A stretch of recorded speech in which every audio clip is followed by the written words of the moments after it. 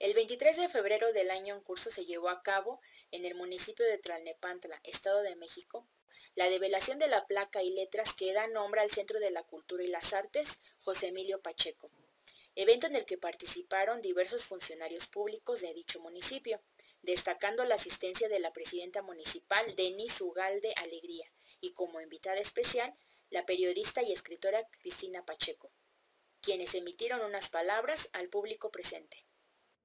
José Emilio Pacheco es por antonomasia la persona que todos quisiéramos estrechar la mano con afabilidad y expresarle de mil maneras nuestra devoción. Su enorme influencia en la cultura nacional a partir de la segunda década del siglo XX lo hace un referente obligado imperecedero.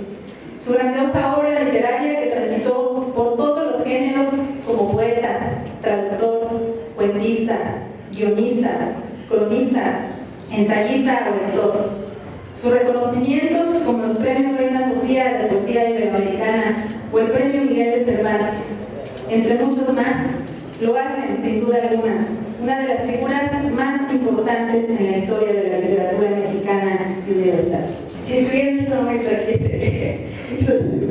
estaría diciendo, no, no sé para qué perdieron su tiempo, van a perder media hora más, es día de trabajo, Muchísimas gracias. Yo no me decía que me dieran esta casa. Es más, este, el medallón es precioso, pero no, no, no, yo no lo merecía.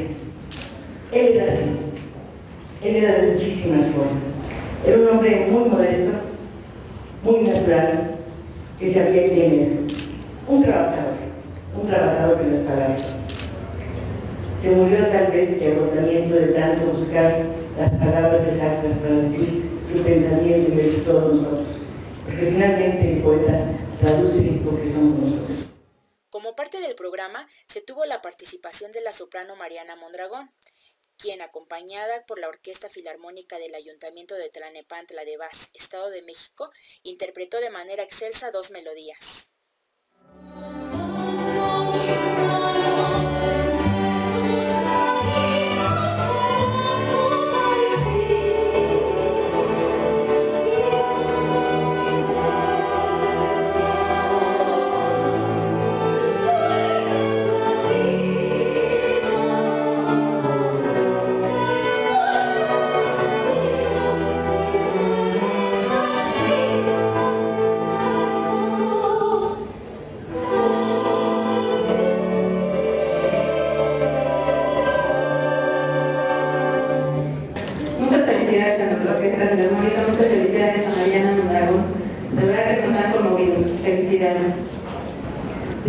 Escuchar la interpretación de la señorita Soprano, dije, qué envidia, qué ganas de haber tenido esa voz.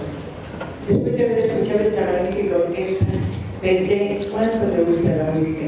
¿Qué sería del mundo sin la música? Finalmente, en el transcurso del evento se realizó la toma de protesta del Consejo Consultivo de Cultura de Tralnepantla, integrado, entre otras personalidades, por la pintora y artista plástica Carmen Mondragón Orozco.